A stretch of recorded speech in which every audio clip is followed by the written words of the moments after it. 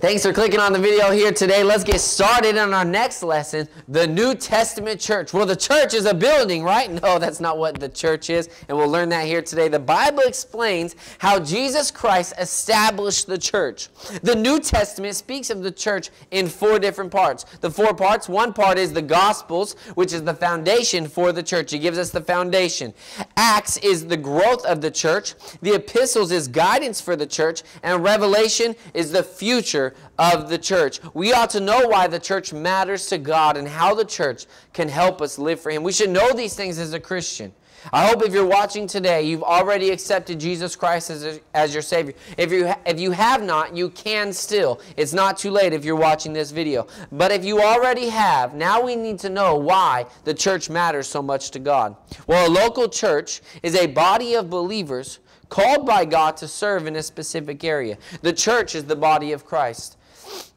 The church is a group of believers who gather together on a regular basis. In the book of Acts, in chapter 2, and verse 46 through 47, the Bible says, And they, continually, continuing daily with one accord in the temple, and breaking bread from house to house, did eat their meat with gladness and singleness of heart, praising God and having favor with all the people. And the Lord added to the church daily as should as such as should be saved. So the church should be a happy place. The church should be a filled with a group of people who continuously meet on a specific time through the week and they come together and will they love one another? They have good favor with one another. They enjoy each other's presence. Why? Because they might be from different parts of life and different walks of life but they all know they've accepted jesus christ as their savior and that the mighty god is their god and that their home is in heaven one day. And they need to be telling others and inviting others to come to church. And what a merry place church should be. Church should be filled with happiness and joy. Why? Because it should be a place that reminds you of where we're going when we die. Because I'm getting to go to heaven when I die because I believe in Jesus Christ as my Savior. Well, when I come to church, how does that help remind me of it? Well, I hear the Word of God preached. I hear the Word of God taught. I hear stories of Jesus. I hear stories from other believers of maybe things God has done for them in their life. When you get together with other believers, it helps strengthen your faith and your walk with God. The church is not a building or a denomination. It is simply a group of people assembled together who have been saved by Jesus Christ and scripturally baptized. It's not a church if it's not a group of people who have been saved by Jesus Christ. The church is God's institution to provide support and structure for our faith.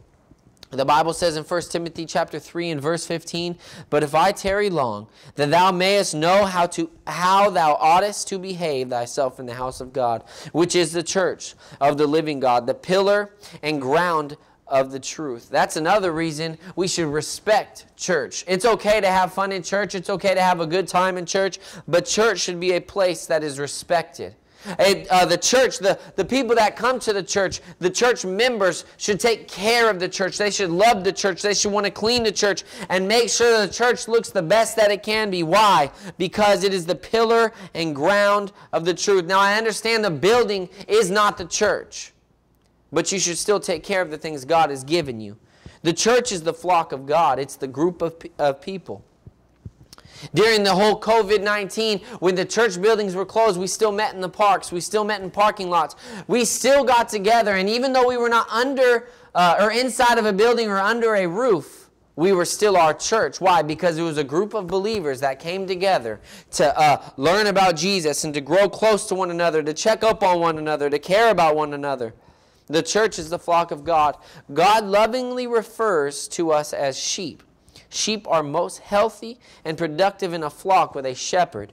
Well, the same goes for Christians who are most healthy and productive when they are in a local church with a caring pastor. If you have a caring pastor, he's going to try to guide you in the right way. He's not going to just try to dictate your life, but he's going to try to show you what the Bible says about life and how the Bible can help you through your life and how the Bible can help you grow.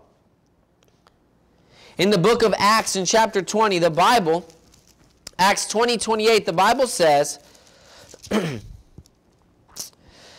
Take heed therefore unto yourselves and to all the flock, over the which the Holy Ghost hath made you overseers, to feed the church of God, which he hath purchased with his own blood. He is purchased. He's purchased the church with his own blood. Take heed therefore unto yourselves and to all the flock over the which the Holy Ghost hath made you overseers, to feed the church of God, which he hath purchased with his own blood. God is so good to us. He purchased us with his own blood. That's why the church is so important. We're going to pick up right there next week. But the church is important. It's not because of the building. It's because of the group of people who have come together. God has purchased them with his blood. What a great God we serve.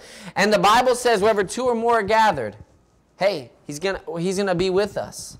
Wherever two or more believers are gathered, He's going to be there. God cares about you so much. Remember, it was His blood that purchased us. God is so good. God cares about the church. Thanks so much for clicking on the video here today. We'll see you next time.